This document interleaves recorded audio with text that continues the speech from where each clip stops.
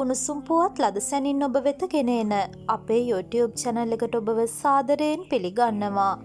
ශ්‍රී ලංකා මහබැංකුව ප්‍රකාශයට පත් කළ අද දිනේ ඩොලරේ විශේෂිත වටිනාකම. එක්සත් ජනපද ඩොලරයට සාපේක්ෂව ශ්‍රී ලංකා රුපියල අද සුළු වශයෙන් ඉහළ ගොස් ඇති බව ශ්‍රී ලංකා මහබැංකුව වාර්තා කරයි. එහි විකුණුම් මිල රුපියල් තුන්සිය හැටහතයි සත දාසයක් වන අතර ගැනුම් මිල රුපියල් තුන්සිය පනස්සයයි සත දොළහක් වෙයි.